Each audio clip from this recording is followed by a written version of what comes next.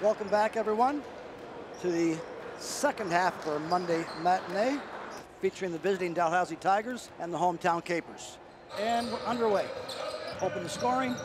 Transition for uh, Tyson Cato. And Cunningham comes up with it and goes full length. Looked like a lot of contact A lot of there. contact. And a run out for Christie. Let up, Levy. And here comes Cato. Drops it in gently and Capers back out. Justice going to his left, all the way in with the finish. Enters it to Reed. Cutting Briere. Nice slash from the wing. Boiser again. Boiser again. Mercer with the board and finishes. Tough offensive board. Cato's there for the board. Looking to get it up and down.